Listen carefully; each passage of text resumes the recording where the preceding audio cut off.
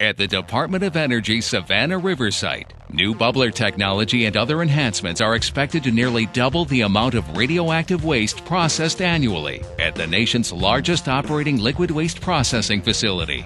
Implementation and installation of the bubbler technology in Melter 2 at the Defense Waste Processing Facility operated by Savannah River Remediation LLC is a $7 million project funded through the American Recovery and Reinvestment Act. Work on the DWPF enhancements began with the liquid waste contract transition to Savannah River remediation in July 2009 and was supplemented with funding from SRR's Recovery Act assignment in late September of 2009. The bubbler technology has been transferred from SRR subcontractor Energy Solutions, who has commercialized the technology since its invention by the Vitreous State Laboratory of the Catholic University of America in Washington, D.C. Using a controlled, systematic approach, technicians have been installing, fitting, and testing component parts throughout the summer. Recovery Act workers have been engaged in all phases of the project work associated with installing the bubblers in the DWPF melter and placement of new infrastructure enhancements. SRR is designing, building, and installing four new argon gas bubblers as one of multiple projects within the DWPF designed to increase the canister production rate.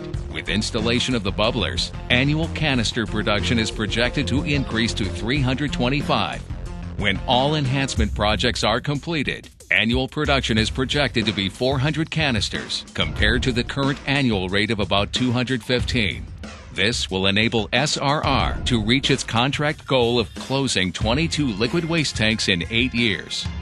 The bubblers and component parts were fabricated this summer and were installed in Reserve Melter 3 at SRS to assure technical compliance with specifications prior to installation in operating Melter 2, which occurred in late September during a planned outage. The DWPF melter vessel is about 8 feet in diameter and 10 feet high, with a total vessel and support frame weight of approximately 83 tons. When operational, the molten pool of glass inside the vessel weighs about 14,000 pounds. A 5 foot long pour spout extends from one side of the melter to permit the pouring of glass into the stainless steel canister positioned under the pour spout. This is the feature that some people say makes the DWPF melter resemble a teapot.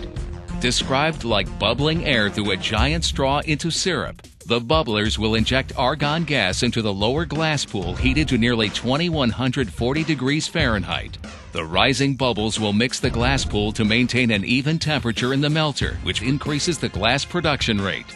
The molten glass is then poured into large stainless steel containers and transported to nearby SRS facilities where it is stored.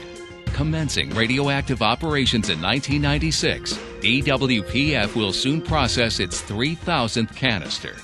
Through American Recovery and Reinvestment Act funding, SRR is deploying technology to safely accelerate the processing of radioactive liquid waste, replacing aging infrastructure and enhancing the safety margin for SRS employees and the public.